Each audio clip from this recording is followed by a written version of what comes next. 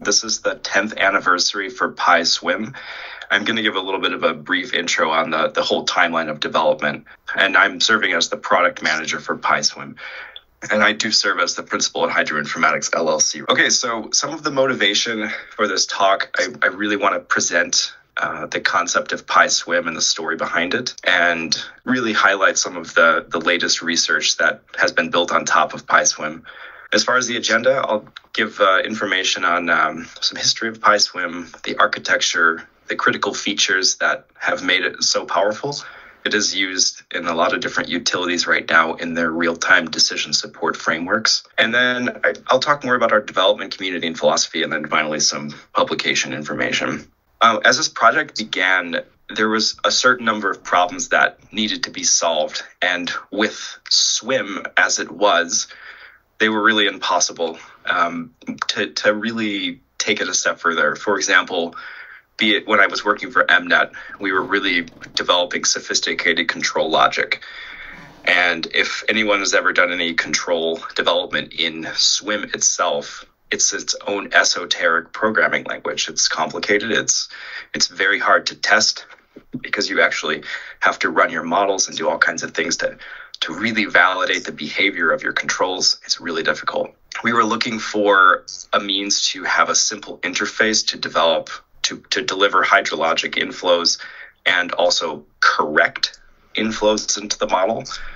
And so we we worked a lot in machine learning, uh, doing you know creating uh, neural network representations of of hydrology. One of the things that was helpful is having uh, being able to interact with a running simulation.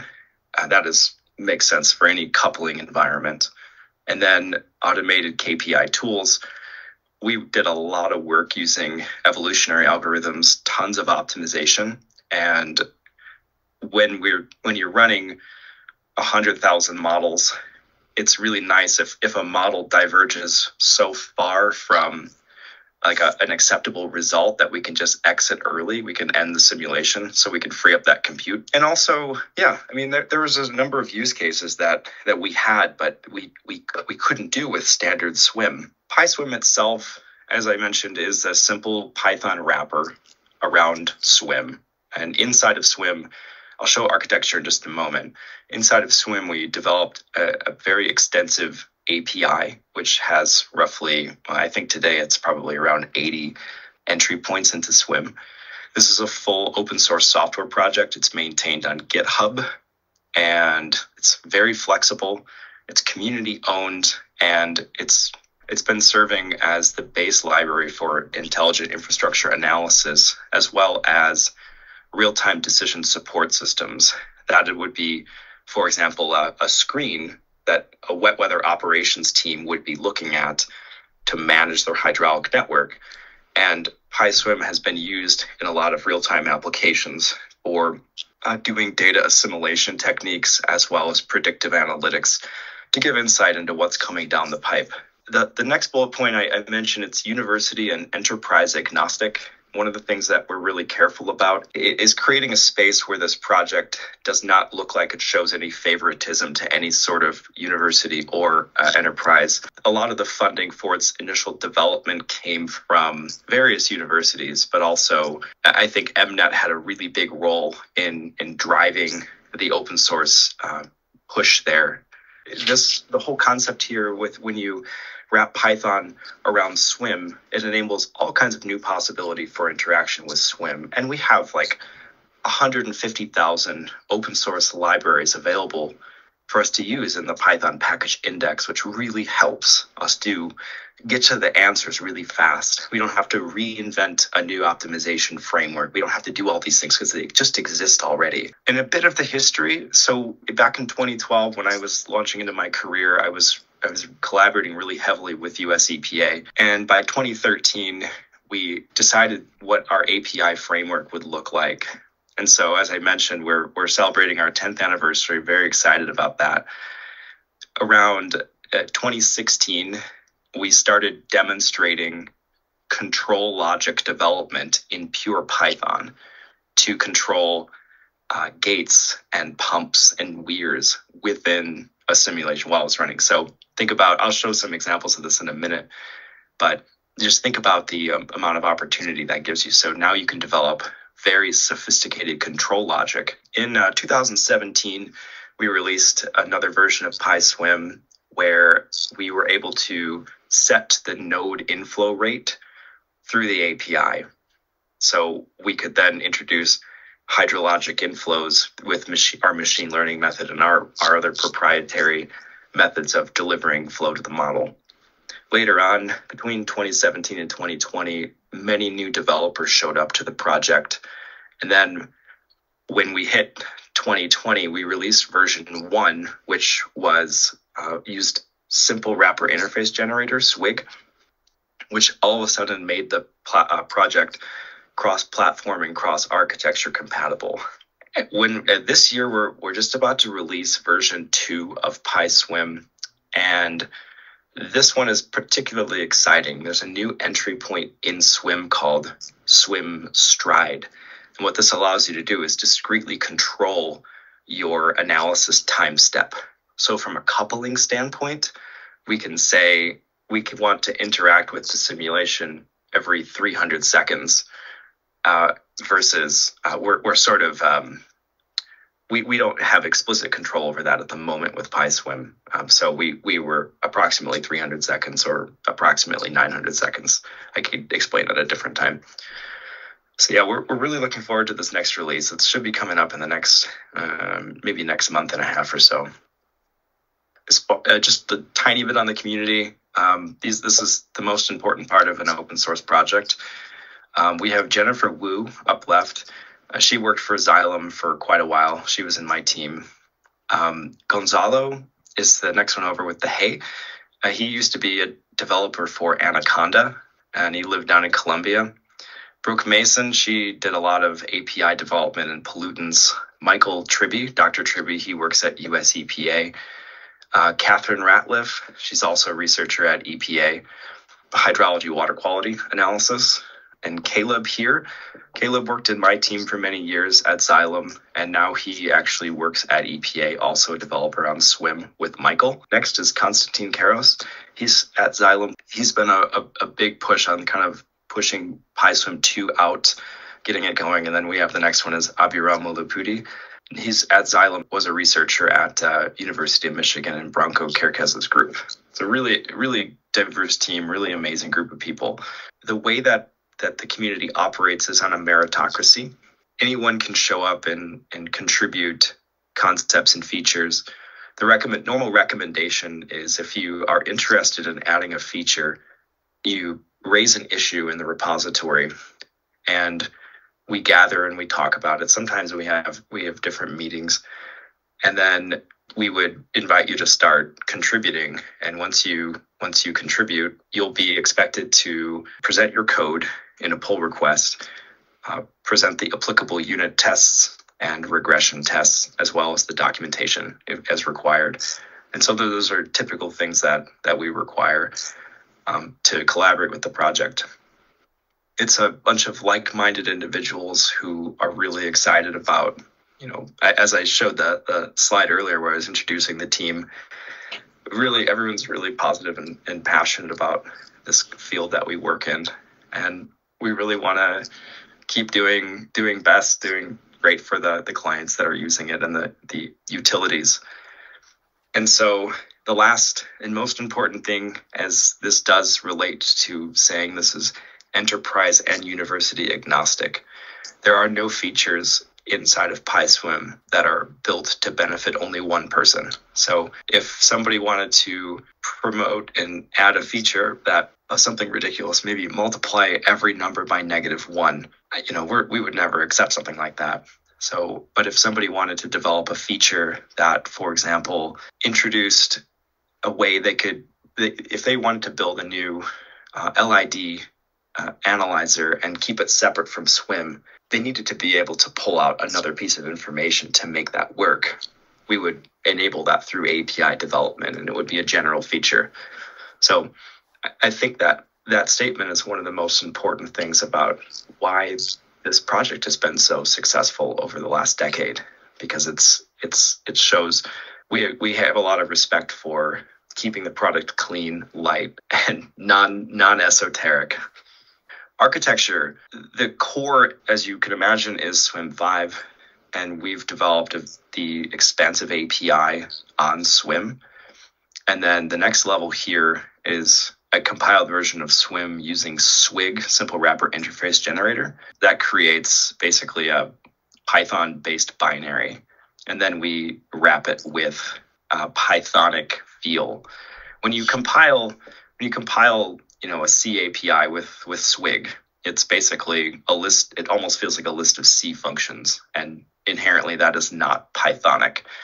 It's important that that PySWMM keep the feel of Python, like every other Python uh, library. It's just a brief example of what this would look like in practice. You have your standard imports and simulation and your links. We've put the simulation behind what's called the with context manager.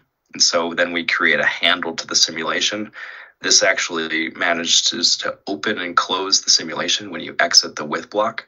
Uh, we instantiate a links object and pass our simulation handle to it. From there, we can then grab a link ID and we can set it to a variable.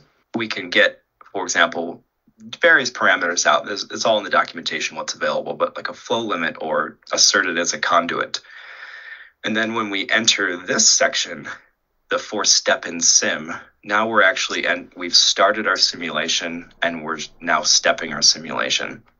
And so we can, for example, print the flow rate. We can check the flow rate against a condition and we can alter what like a target setting for a pump.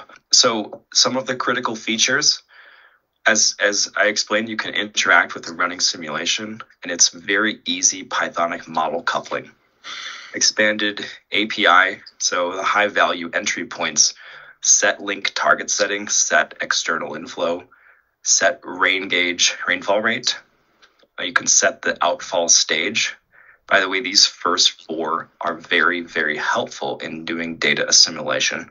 Later on, we added being able to set node pollutant concentration. We have a lot of features in LID that allow you to well you you can now direct for example if you're building a drainage drainage method of LID you can direct it to a different node or a different subcatchment during the simulation and finally the latest feature that we just added was the ability to save and use a hot start save a hot start file during any point in the simulation and then it would be usable through the API once you wanted to restart a simulation.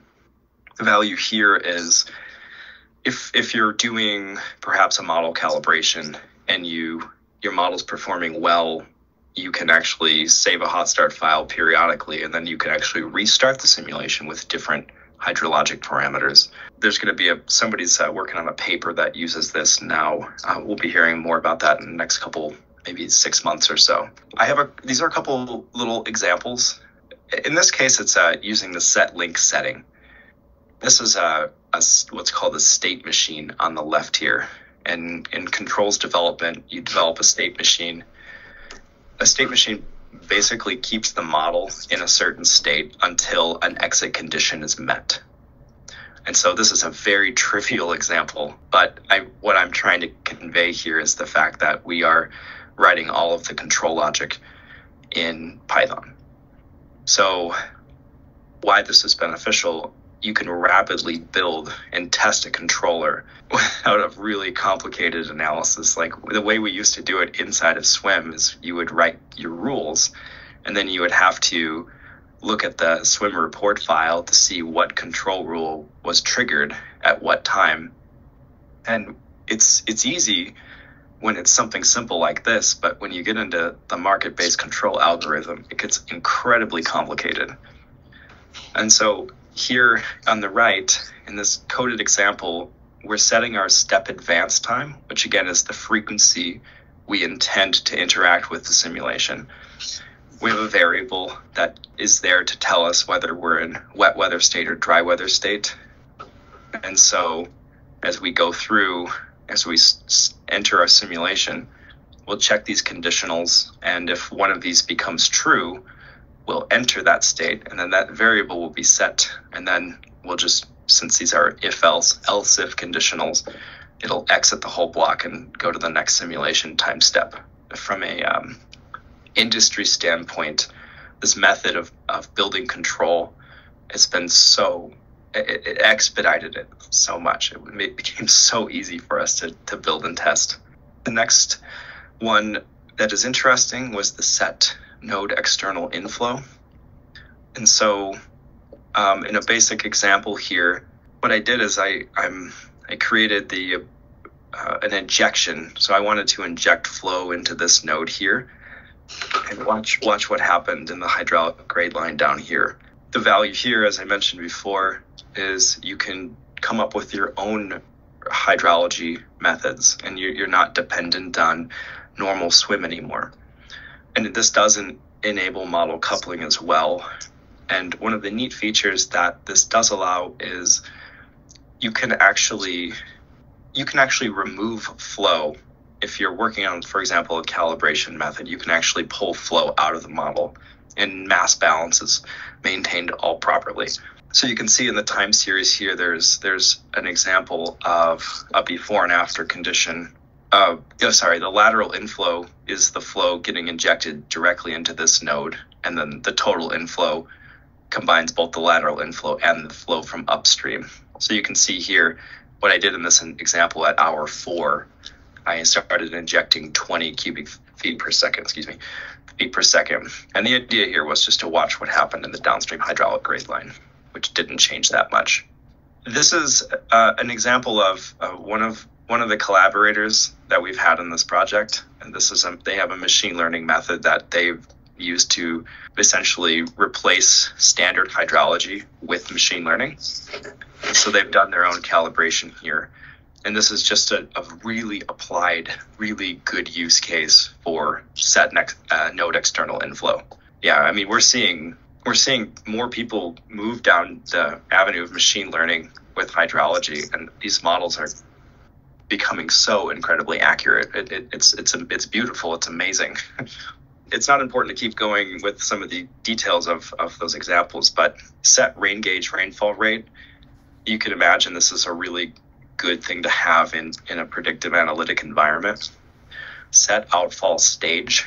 So if you are if you're trying to use a data assimilation technique, this is, is, is a really powerful feature. Setting node pollutant concentration, we do have a, we've, we, we've worked with uh, University of Michigan and they've developed a water quality, uh, like a plugin for PySWMM, which allows them to perform a treatment analysis at certain nodes. Lastly, like I said, we have LID unit drain node control and then, as I also mentioned, SWMM Stride is going to be upgraded in PySWMM 2.0 to use the explicit explicit C function to advance the model forward by a, a, target amount of time. I should say one other thing as we talk and present this PySWMM project. It really encompasses the three layers as I presented in the architecture diagram. Meaning, we really call the whole family of code bases PySWMM. So if we wanted to um, if if you're interested in wrapping the C functions explicitly, then you you could do that. We would still call it PySWMM, but it, it, it's it's one and the same. The features are there for whatever level of abstraction you want. If you're if you're developing your code base in C and interested in coupling, then it would make sense to talk to the C entry points. Right now, uh, if you Google Scholar S, 175 hits and we did publish a paper just a couple of years ago. There's a, a bunch of a bunch of researchers that are using this in various contexts all around the world. And it's, it's been really exciting to see it grow. So I have several training resources available. We have our normal website. I've got a, a whole YouTube channel here. On the website, we have examples, and it, really all this is just Googleable, but I do have the links persisted here if, if anyone's interested.